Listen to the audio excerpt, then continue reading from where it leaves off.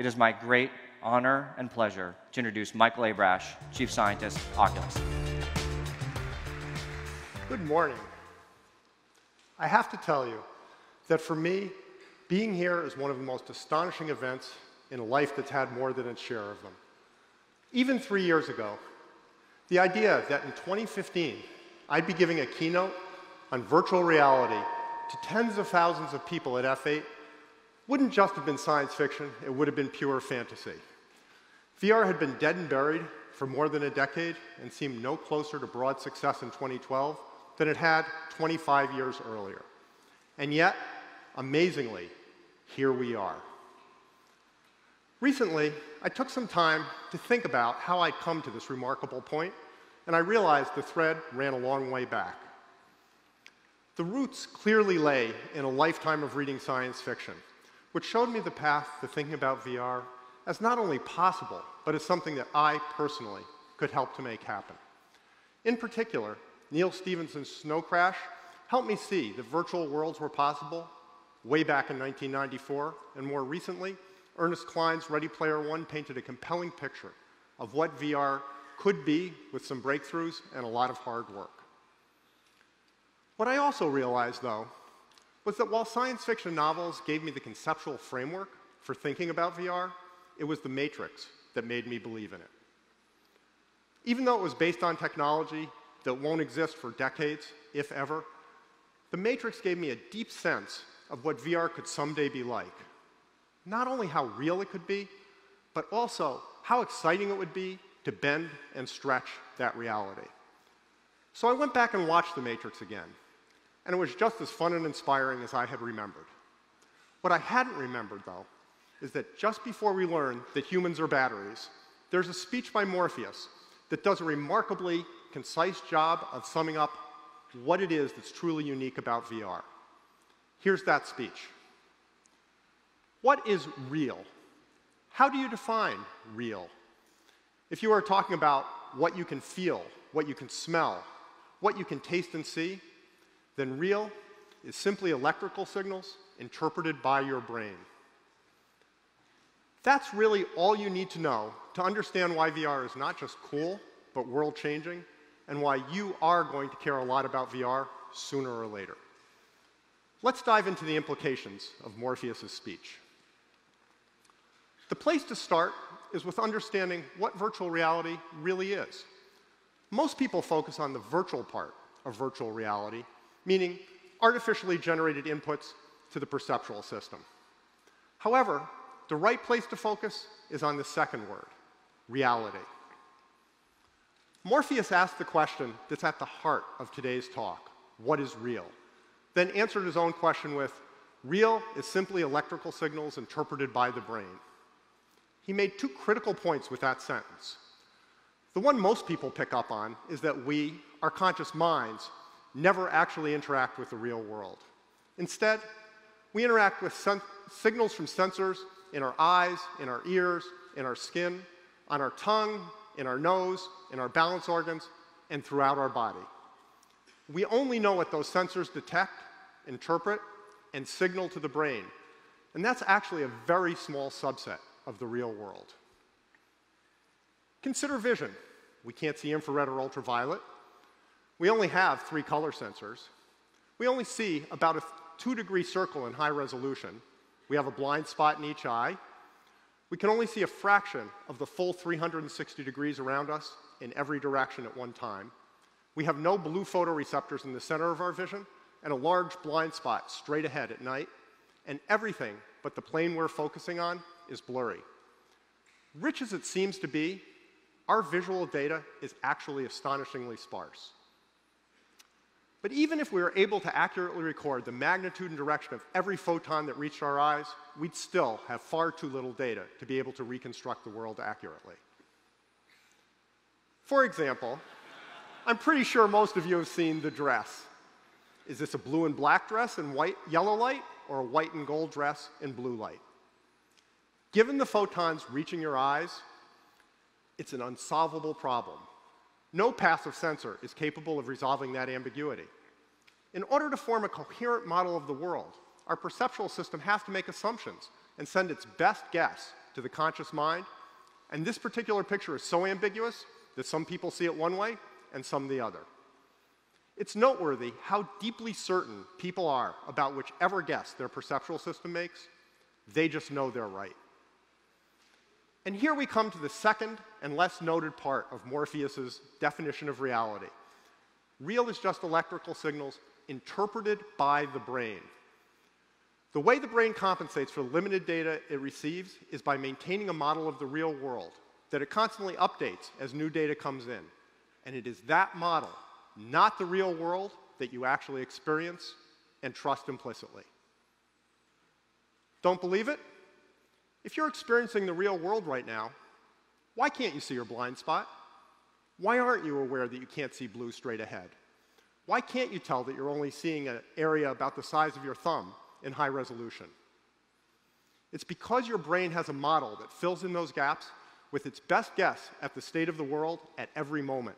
And it's that model that you actually see, hear, feel, smell, and taste.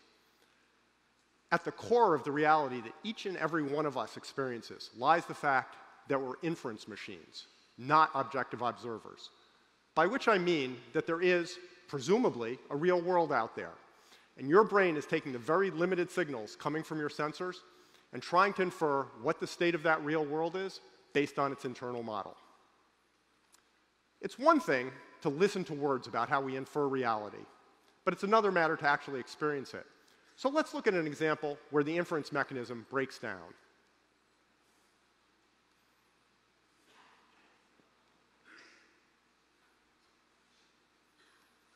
Something is not right here. But what? I'll explain this later, but the key point is that what you see in this video is ambiguous with multiple valid solutions, and your perceptual system has chosen the wrong solution based on a set of assumptions that's almost always correct. The same process happens every waking second of your life. The only difference is that you normally infer the correct solution to the state of the world. The fact that reality is whatever your mind infers from the nerve impulses sent by your sensors based on its model of the world is at the heart of what makes VR different and more powerful than anything that has come before. It's so important that I'm going to spend a few minutes giving you a deeper sense of how ambiguous the world really is as observed through our various sensors, and the extent to which reality is constructed by our minds rather than recorded by our senses. Where better to start than by choosing between a red pill and a blue pill? Unlike Morpheus, I'm not offering you a choice today. No matter which color you pick, we're all headed down the rabbit hole together. So pick a pill and keep your eyes on it. Got it? Let's mask off everything else. Interesting. You were pretty sure that out there in the real world, one pill was red and one was blue. But they're exactly the same shade of gray. The colors you saw were entirely constructed by your perceptual system and existed nowhere else. In fact, let's look at the original slide again. What color are the pills now? It doesn't even make any difference that you know they're both gray. You still see red and blue. So, what does that say about how well your perceptions correspond to the real world? Welcome to the rabbit hole. And yes, I know it looks like I photoshopped this slide. By definition, it's hard to show you visual illusions that don't look photoshopped. So, your packet contains a physical version of the pills that you can check out later and verify that I'm not cheating. Let's look at some other illusions and what they tell us about how we perceive reality. Some of these may not work perfectly for some of you. It's a bit unpredictable doing illusions on a big screen, but they should work well enough to make the important points. Take a good look at the blue tiles on top of the left cube. Okay, now take a good look at the yellow tiles on top of the right cube. You think those are colors you're seeing now? Let's mask off everything but those particular tiles. They're all exactly the same shade of gray. This is similar to the pill illusion we just saw, but it's clearer here what's happening. Your visual system isn't interested in whether the photons coming from a tile in a random image are red or blue or gray. Knowing that didn't keep anyone from being eaten by lions on the savannah. What it is interested in is identifying potentially relevant features in the real world under a variety of conditions. When you look at an object, what your eye gets to work with is an approximation of the spatial distribution of wavelengths of light. But what your brain cares about is the actual color of the object. So your visual system constantly corrects for the lighting in a scene. Given the apparent lighting in this scene, the best guess is that the left tiles are blue and the right tiles are yellow. Here's another example that shows that our, your visual system is reverse engineering reality rather than just recording it, this time involving brightness. See the white tile under the desk and the black tiles just outside the desk? Again, let's mask off everything else. And again, they're both exactly the same shade of gray. But if one of them is, that, is in shadow and is that shade of gray, it must be white. And if another one is in bright light and is that shade of gray, it must be black. Your visual system does the inference for you automatically, and what you see is white and black rather than gray. Let's look at how we perceive form next. Here we have a nice square checkerboard. Let's add some dots and see what happens. This happens because some line detectors fire that normally wouldn't be triggered by a checkerboard. When we have a regular checkerboard, your visual system deploys cells with sensitivity to contrast edges at various orientations, represented by this starburst. And of those, it detects high contrast edges at exactly two orientations, the horizontal and the vertical. So you see right angles, as you'd expect. But if we switch to the bulging checkerboard image and deploy the same perceptual mechanisms to detect orientation, your visual system detects high contrast not only at the horizontal and vertical orientations, but also on slightly slanted axes as well. As a result, the perceived orientation is skewed. Rather than looking orthogonal, the corners look bowed. The checkerboard is a 2D demonstration. Next, let's straddle 2D and 3D. Take a moment and figure out which of the two tabletops in blue is wider as measured in 2D and which is longer, assuming you rotated them to line up. Ready?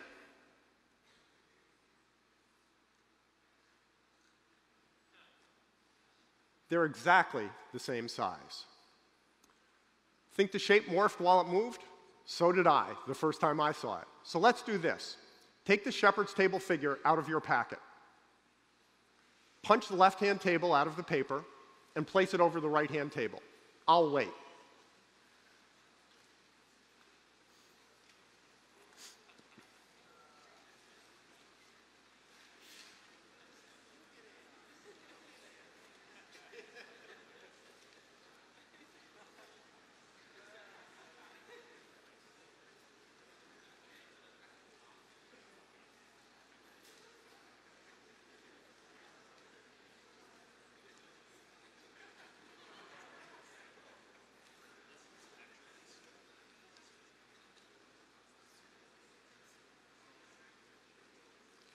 If you haven't gotten there yet, you can always do this later. Trust me, they are indeed the same size.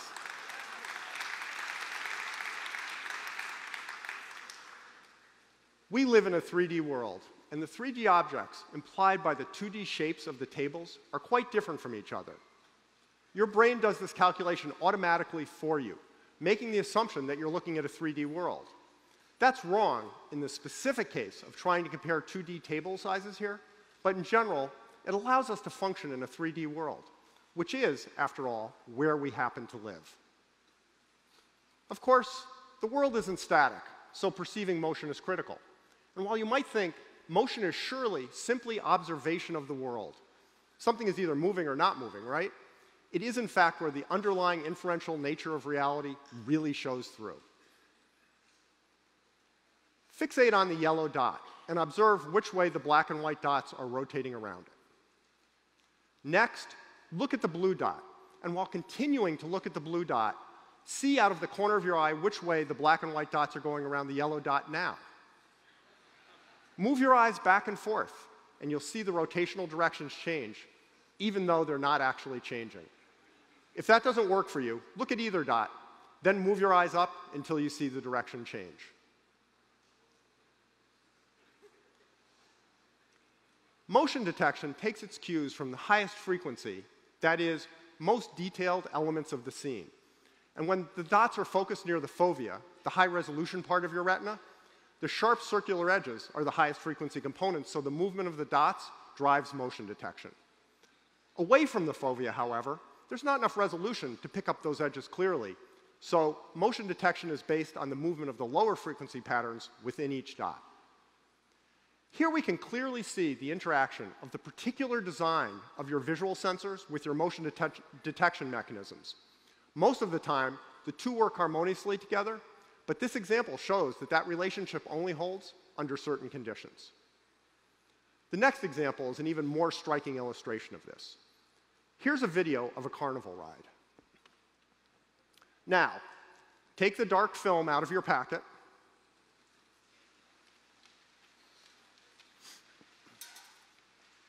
Put it over your left eye like this, making sure to keep both eyes open and look at the video again. Pay particular attention to the chairs, especially as they pass in front of the carousel. Remember, look, hold the film in front of your left eye and keep both eyes open. The chair should pop out toward you like watching a 3D movie. It doesn't work for everyone, but most people can see the effect clearly. You can also see an interesting 3D effect as the chairs cross the trees at the lower right.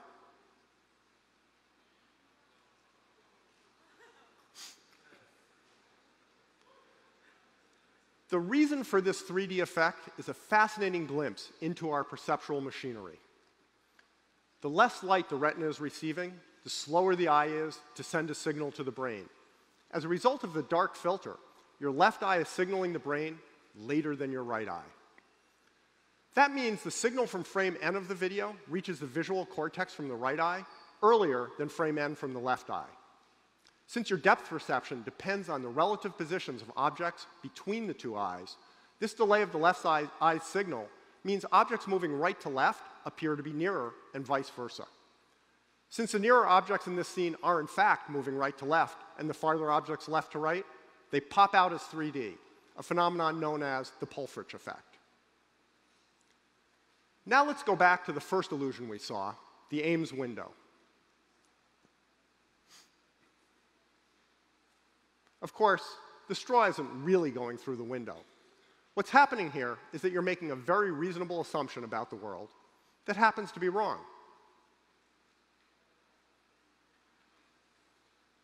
There are a number of cues on the window that imply a perspective that doesn't exist. So your visual system infers that the window is spinning backward for half of a full rotation. As a result, the straw seems to rotate right through the window. This doesn't match any reasonable model of reality, so you end up seeing something impossible. The next example also makes a wrong assumption, but doesn't wind up with an impossible solution, just an incorrect one.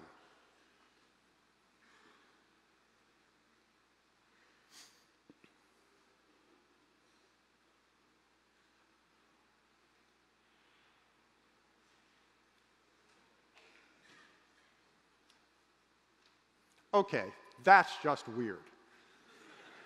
Here's what's actually happening. Real objects, especially faces, tend to be convex. So your visual system assumes convexity in the absence of cues to the contrary. The only way to make that assumption work in this case is for the head to be moving in very odd ways, so that's exactly what you see.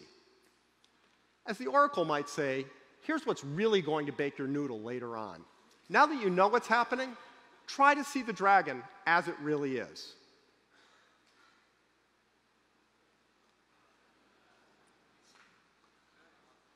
I bet you can't do it. A little bit of conscious knowledge isn't going to undo millions of years of evolution and a lifetime of looking at faces. There are many other visual illusions, as well as all sorts of audio, touch, smell, taste, motion, orientation, and balance illusions. These tell us a great deal about our perceptual system, but our model of the world is constructed out of many inputs across all our senses, so multi-sense illusions are even more revealing about the inferential nature of reality. We only have time to look at one of these, the McGurk effect, but it's one of the best demonstrations I've seen of how we construct reality. Bar, bar, bar, bar, bar, bar, bar. Obviously, she's saying bar, bar, bar. Now let's watch a slightly different video. Bar, bar, bar, bar, bar, bar. Here we can clearly hear her saying far, far, far. Except that she isn't. The video shows her saying far, but the audio track is still of her saying bar exactly as she did in the first video. The visual input overrode the audio. To make it crystal clear what's going on, let's look at this one more time. Once again, we'll have a soundtrack that says bar, but this time we'll have a split screen with a face saying far on one side and a face saying bar on the other. As this plays, move your eyes from one side to the other and observe how what you hear changes. bar, bar, bar, bar, bar, bar, bar, bar, bar.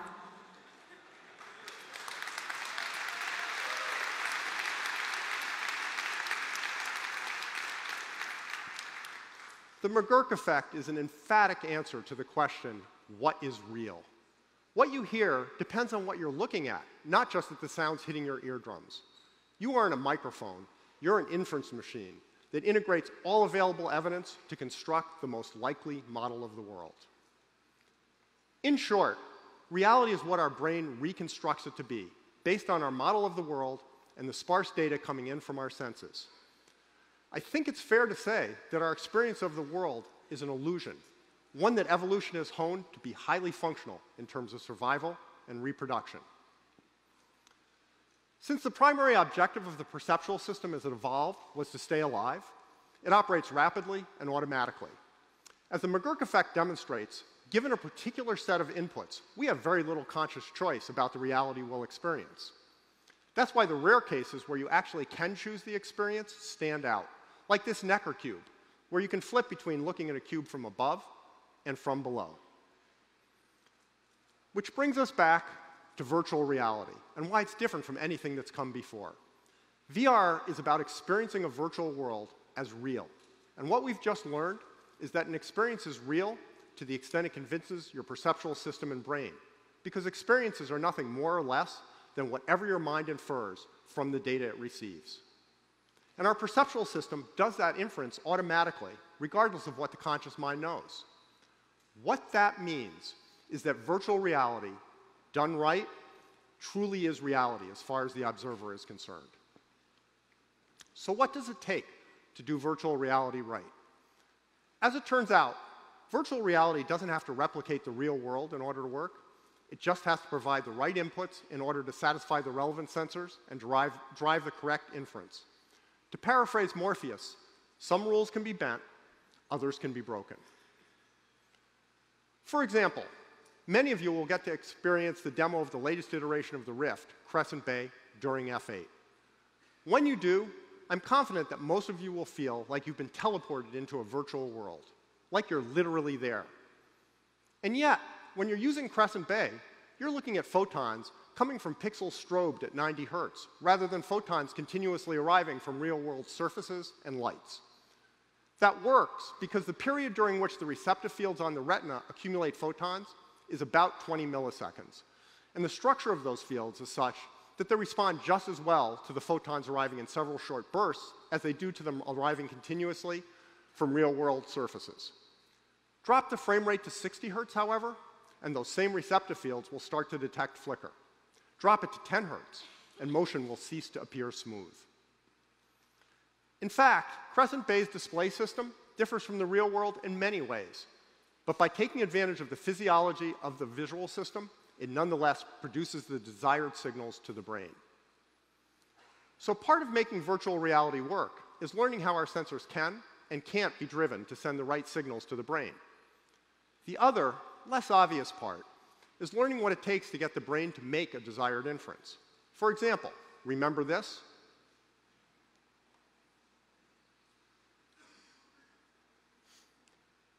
Were able to get the brain to infer a face shape and the corresponding head movement by leveraging the convexity assumption.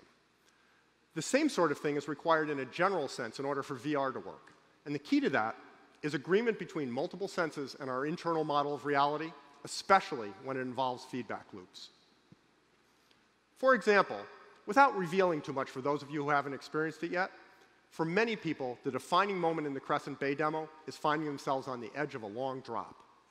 The response is often to grab a nearby virtual pipe, which shows that enough unconscious inference has kicked in to trigger the automatic responses that mean the, means the brain believes it's someplace real. Why does that happen?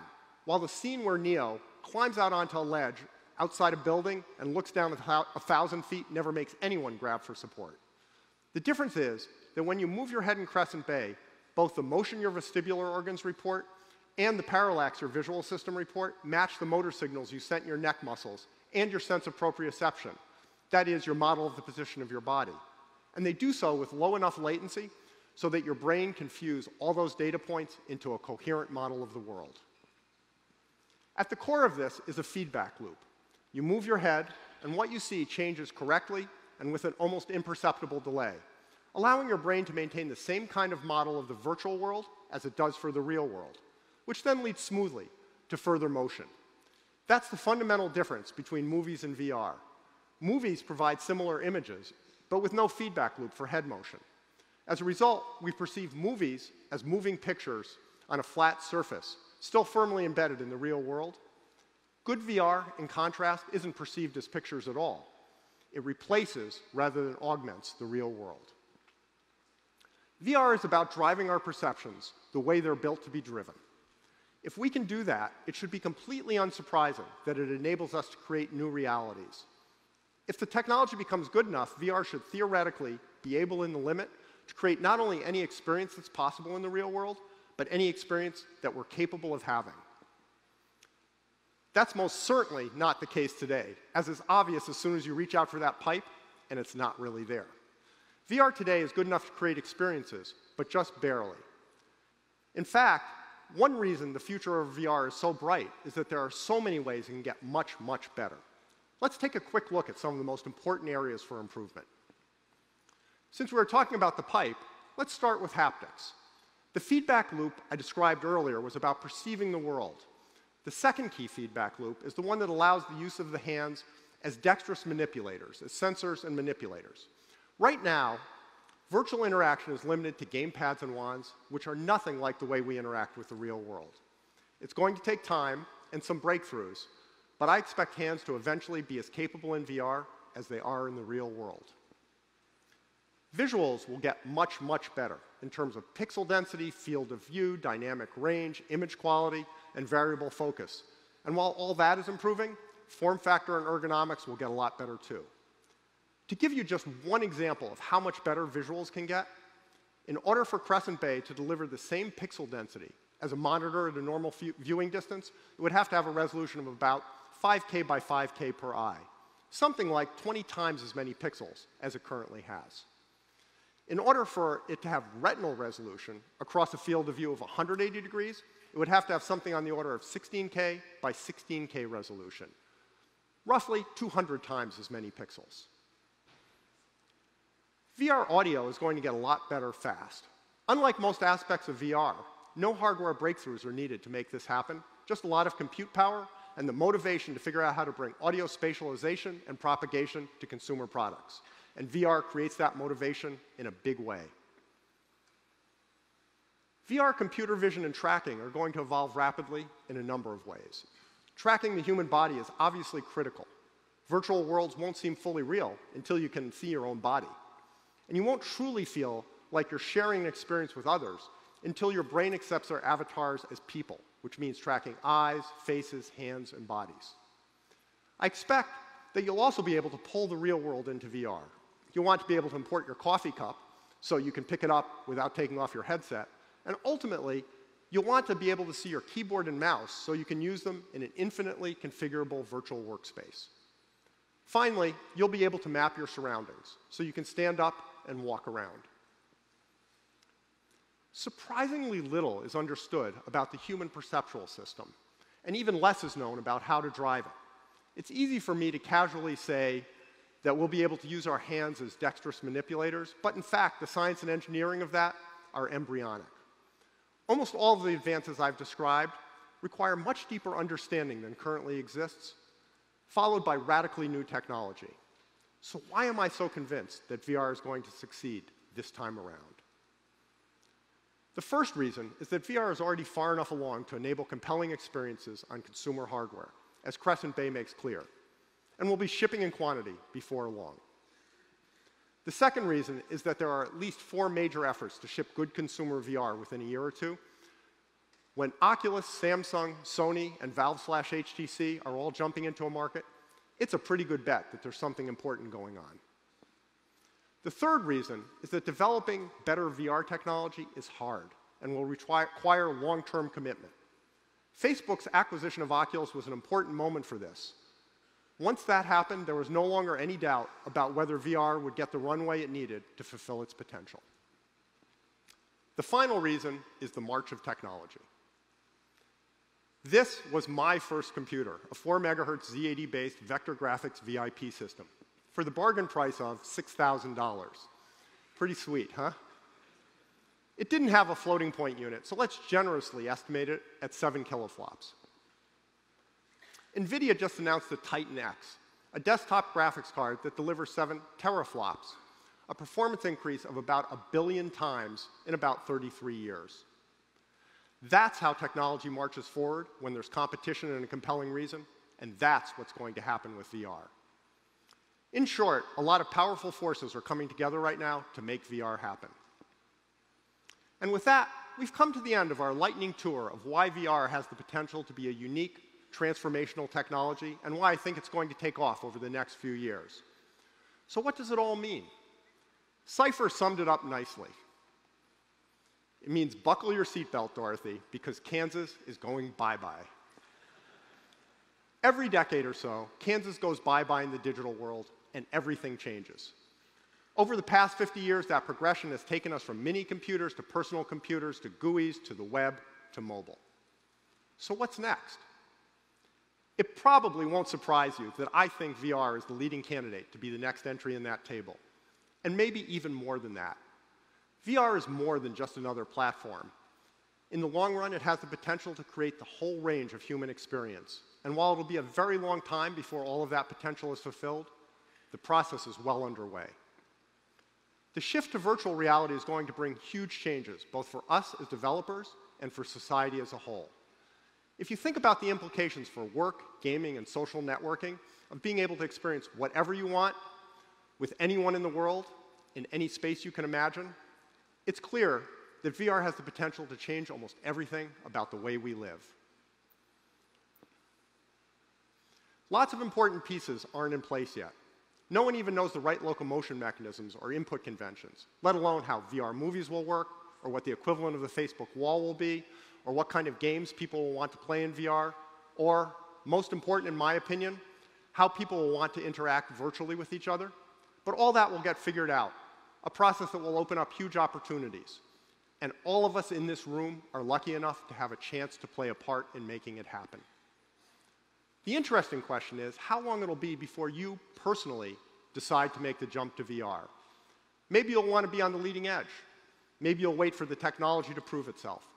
But VR is potentially world changing and incredibly cool, and it's really happening, so sooner or later, you will want to be a part of it. I'm hoping it's sooner.